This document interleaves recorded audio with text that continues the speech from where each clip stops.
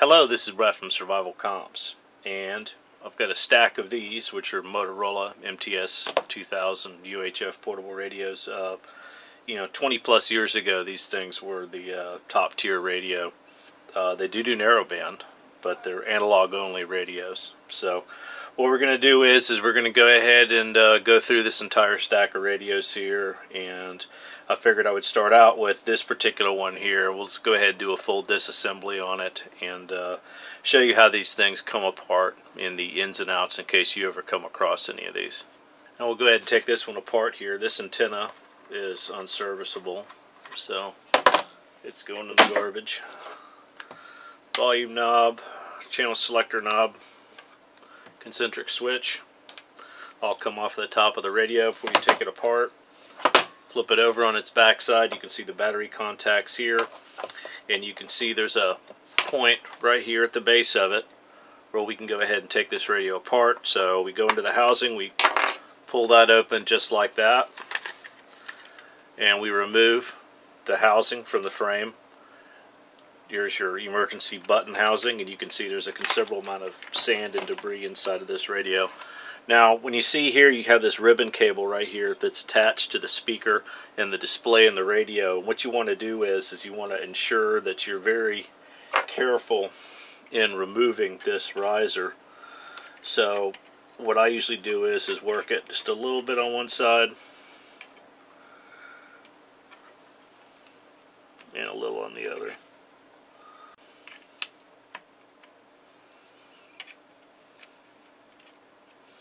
And then we can go ahead and take this ribbon cable out of the controller, just like that. And this is as much as you take these apart right here. Unless you're replacing the speaker or anything in there, there's really no sense in taking any of this apart. So we'll go ahead and set the housing aside. And we have our radio itself. And you can see your RF connector on top. There is a small O-ring that runs around the perimeter of the portable. And we will go ahead and remove that. Set that aside. And what you have is the body of the radio has these con these clips right here to attach it together. And there's three of these here.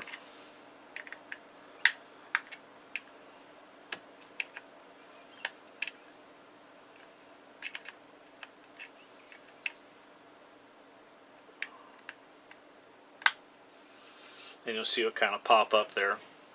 You have another riser towards the rear here and the controller. And this is another one of those that you're really careful with. And you'll go ahead and disconnect this ribbon cable. And this is what your control set operates on. This is how the volume control and the controls actually manipulate the controller. And once we get these little clips out of here, you'll kind of work the front of this right here. And it'll come and slide up and then you remove all of your control surfaces right here in the shield and you'll place this to the side. And here we have the guts of the radio. What you have here is is you have this guard which protects the battery contacts right here. Right here on these a lot of times when these things are in op there's a fuse right here a surface mount fuse and the surface mount fuse will be unserviceable and require replacement. Now we'll go ahead and remove the RF deck and the controller from the frame. And then there's this little cross connect pin here. This is your controller, which is basically the brains of the radio. This is your RF deck, which is the brawn of the radio. Now your RF deck here, you can see there is some heat sinking right here because this is your amplifier portion of the radio right here. So where it interfaces into the frame, it rests on this. So you want to have some kind of heat sink compound on there when you reassemble it in order to make sure there's even heat transfer on this frame of the radio itself. And you can see this RF deck's in pretty good shape here. And you can see your manufacturing date and which revision it is right here on this tag. The controller, which is the brains of the radio, like I said, has your controller interface, and then this riser here connects, of course, to your uh, RF deck. And this right here is for your crypto module. If you have a DES module that you'll place into this. And you can see the back side of it here. You can see your manufacturer date and your revision number and part number. Now in your controls here, you'll see that you have a rubber gasket that's on top here that runs around your channel selector knob, your volume on-off control, and your three position switch.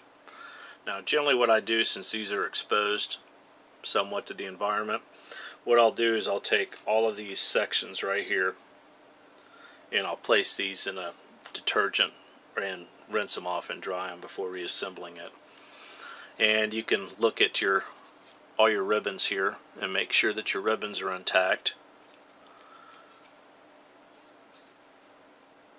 And this one here looks pretty good to go and we'll just do a dusting of it and get ready to put this sucker back together after we get it cleaned up.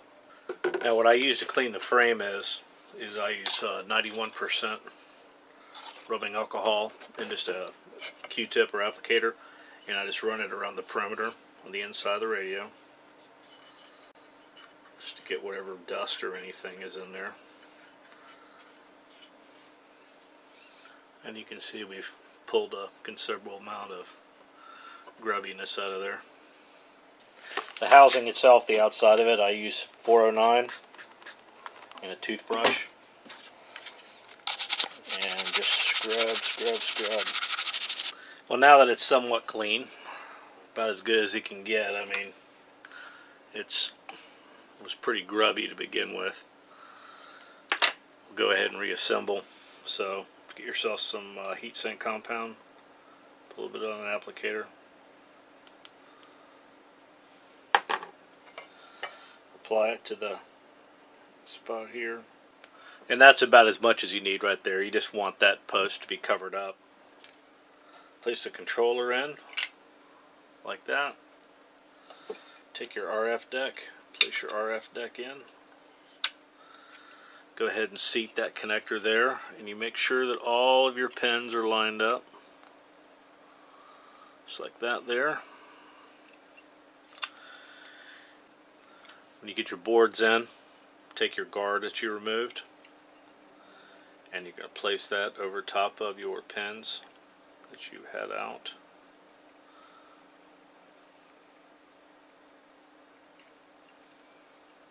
and you can see that protects that junction between the controller and the RF deck.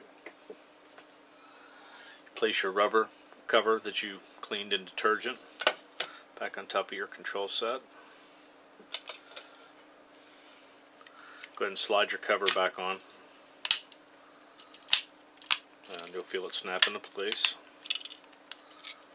And then the last will be where your push to talk and your accessory buttons are. Take your riser, slide your riser in carefully, using your thumb to hold it in place. Close the clip right there like that, and it'll be something similar to that. Get your O-ring. Place your O-ring back on. See how it's retained underneath your clips. Take your emergency button cover, and there's little pins that keep that from moving around. Place that back on there just like that. Now you will look for your housing. Your I'm trying to do it so you can see it. Take that riser with your finger. Slide it in the slot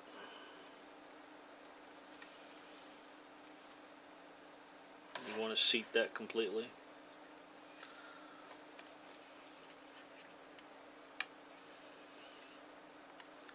Then while you're holding it in, close those pins in, just like that. Now take your housing, sliding the controls over and the RF connector over. You'll place it in there, you'll feel it go into place. Turn it over, and check for your o-ring all around snap it into place and your radio is reassembled Now taking the radio, we'll go ahead and put the controls back on.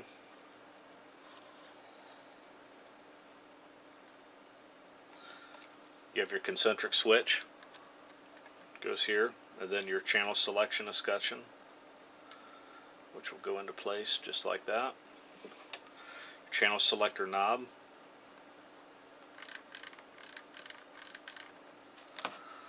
Then your volume on off control knob after that right there. Now let's see if it fires up. Now these radios do have an internal diagnostic test mode, and then with your later generation Motorola stuff, it's very similar in how you access it. Now, if you look on the side of the radio here, you have your push-to-talk button, and then you have three service buttons. You have one, two, and three. So when you're turning the radio on, you would hit this button five times, and it does that beeping right there. And now you can see it's going to spit out all the germane information about the radio, the model number, etc., etc. in your uh, equipment that has flash codes. It'll go ahead and spit that out too. And this isn't an RF test mode here. First thing we're going to do is we're going to test the control set. So how we do that is is by merely pressing this button on top right here, which it's going to need a little persuasion, and it puts it in a mode called channel test. Now, our first, excuse me, our first test in this mode is going to be to hit our emergency button, and that's going to show you the display while we're holding it down, all the characters of your display. Now, when we release it, it's showing this switch number, and it's showing that it's in an open state right now, and it's showing it's in a closed state, so we know that switch is fine. The same thing with your channel selector knob. You can do that. It's 1 through 15. And what you have here is your concentric switch. Open and closed. Your volume control potentiometer. Just like such. Your A, B, and C switch. A, B, and C. Your side buttons. Push to talk. Service button 1. Service button 2 and service button 3. So now we know that all of our control sets in this particular radio are functioning normally. So go ahead and turn our power off. And we're going to go ahead and check the RF functionality with very basic service tools. The very simple diagnostic tools we're going to use to test this radio are going to be a frequency counter, a watt meter, a dummy load, and a cable with a suitable SMA adapter. So first we're going to put the radio into a uh, diagnostic mode again. So we're going to turn it on. We're going to hit our service button three, five times. We're going to get all the propaganda out of our radio right now. And it's going to end up saying RF test. When you see it say RF test, go ahead and press your emergency button once.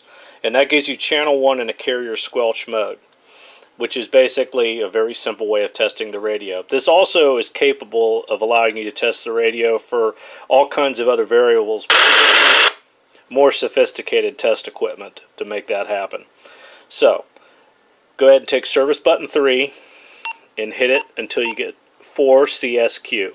That's channel 4, which for this particular radio would be 444.050 megahertz on receive oh, excuse me, for transmit, and then 444.100 megahertz for transmit.